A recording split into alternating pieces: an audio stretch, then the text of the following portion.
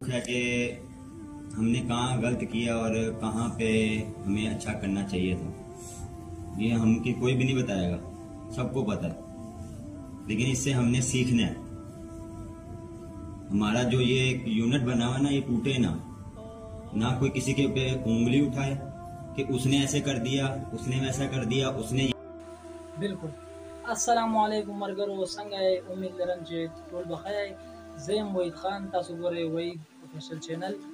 ګوره یو ګریټ کپتان یو زبردست انسان دی بابر اعظم پوه شوې چې ټیم یې هراو شو سیمي فاینل کې هراو شو وایي تاسو به بچا باندې انګلي نه چوتوئ حسن علي دی که فخر زمان دی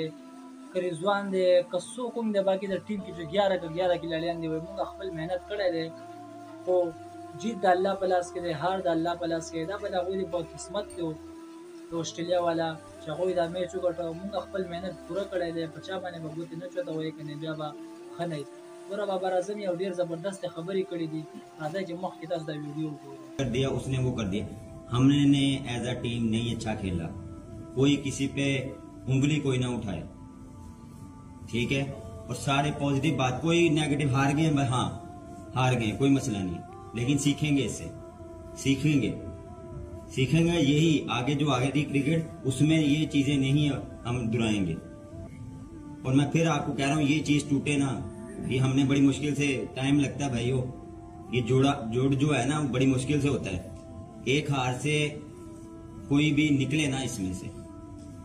میں سب کو بیک کرتا ہوں ایز اے کپتان مجھے جس طرح آپ لوگوں نے رسپانس دیا اندر باہر جہاں بھی بہت اچھا فیملی والا ماحول رکھا سب نے بالکل مرګرو ور تاسو کته د سونه خبرې وکړلې چې تاسو دا ټیم ډیر په مهنت باندې جوړ شوی دی ډیر خلکو په مهنت کړی دی پاکستان دا ټیم دې ته راورسېد که نه زموږ په یقین کې نه و چې پاکستان ټیم به پنځه واړه میچونه بالکل داسې وګټي په ټوپ باندې به لاړ شي خیر هر څه په قسمت کې دومره خوشحالي نه مونږ ته راکړلې او دومره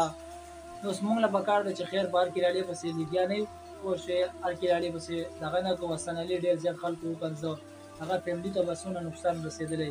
هغه فیملی والا بس سوچ کې هغه د پاکستان لپاره لړاویږي